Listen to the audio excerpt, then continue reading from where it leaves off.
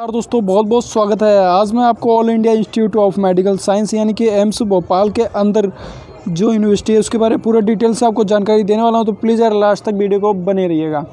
तो यहाँ पर हम बात करेंगे टॉप फाइव कोर्स के बारे में। तो यार प्लीज़ यार लास्ट तक ये वीडियो देखिएगा। इस वीडियो में आपके लिए जो इन फ्यूचर काफ़ी इंटरेस्टिंग वीडियो रहने वाली है तो पूरा डिटेल से आपको जानकारी देने वाला हूँ। तो सबसे पहले बात करेंगे यहाँ पर एमबीबीएस की। अगर आप लोगों ने सोच रखा है कि आपको एमबीबीएस करना चाहिए तो आप लोग बिल्कुल आसानी से यहाँ पर एमबीबीएस कर सकते हैं। एमबीबीएस काफ़ी अच्छा कोर्स माना जाता है इन फ्यूचर क्योंकि यहाँ पर आप कितना भी कमा सकते हैं, यानी कि लाइफ टाइम आपके लिए यहाँ पर सर्टिफाइड हो जाता है कि इतना कमाना है आपको, इतना कमा सकते हैं आप। इसलिए आपको एमबीबीएस अगर आप करना चाहते हैं तो आप लोग यहाँ से आपको क्या चाहिए? सबसे पहले देखिएगा प्लस टू पास होना चाहिए। अगर आप लोगों ने ट्वेल्थ कर रखी है तो आप लोग यहाँ से कर पाएँगे फिफ्टी परसेंट के साथ।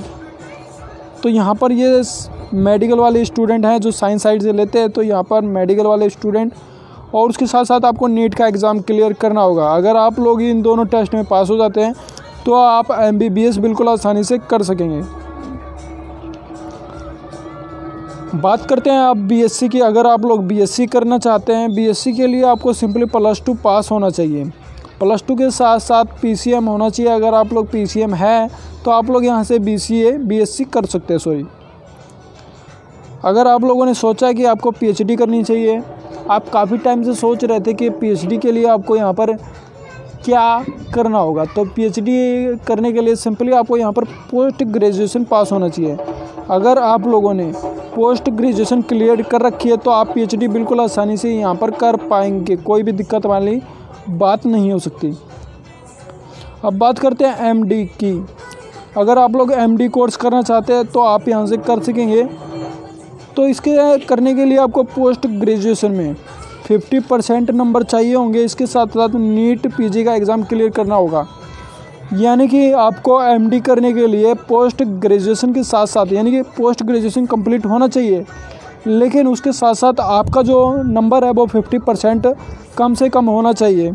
और उसके साथ साथ आपको एक नेट नीट और पीजी का एग्ज़ाम क्लियर करना होगा। अब बात करते हैं एमएस एमएस की। अगर आप लोग एमएस करना चाहते हैं तो आप लोग बिल्कुल आसानी से एमएस कर सकेंगे। तो इसके लिए आपको ग्रेजुएशन विथ फिफ्टी परसेंट यानी कि ग्रेजुएशन पास होना चाहिए, उसके साथ साथ आपको नीट का एग्ज़ाम क्लियर करना होगा।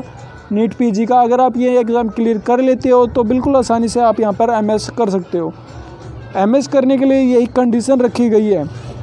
एमएस को थोड़ा सा ध्यान से देख लीजिएगा, इस, ये कंडीशन आपकी हर जगह मिलेगी। तो प्लीज़ यार इतनी ही जानकारी देनी थी इस वीडियो में तो प्लीज़ यार वीडियो को लाइक कर लीजिएगा चैनल को सब्सक्राइब कर लीजिएगा, ताकि मैं इस तरीके की जानकारी आपको देता रहूँ। तो फिर फिर मिलूँगा नेक्स्ट वीडियो में, तब तक नमस्कार, जय हिंद।